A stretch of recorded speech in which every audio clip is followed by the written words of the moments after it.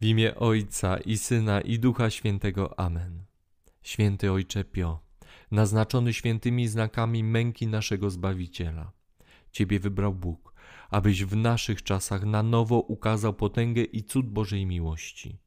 Bądź w niebie naszym patronem, a gdy wzywamy Twojego potężnego wstawiennictwa u tronu Bożego Miłosierdzia, uproś nam przebaczenie grzechów, łaskę zjednoczenia z Jezusem Chrystusem w Eucharystii i radość trwania w Kościele Świętym. Broń nas przed złym duchem, kieruj nasze kroki na drogę pokoju i naucz nas żyć w prawdzie i wolności dzieci Bożych. Amen. W imię Ojca i Syna i Ducha Świętego. Amen. Szczęść Boże wszystkim.